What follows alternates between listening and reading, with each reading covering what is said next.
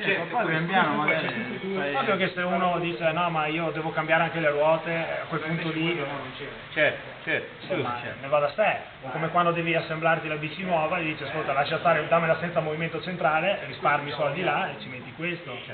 Oppure insomma funziona così.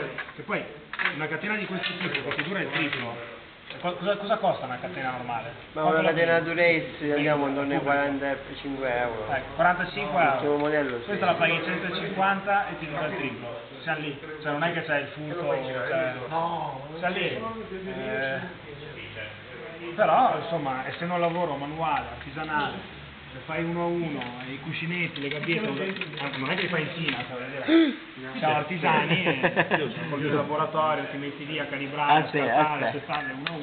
vedere. Cioè non siamo alla Fiat che facciamo 100.000 kit, no.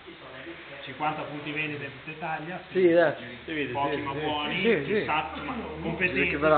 Ah, c'è bisogno. Almeno se dicono, ah, ma c'è un cuscinetto da cambiare,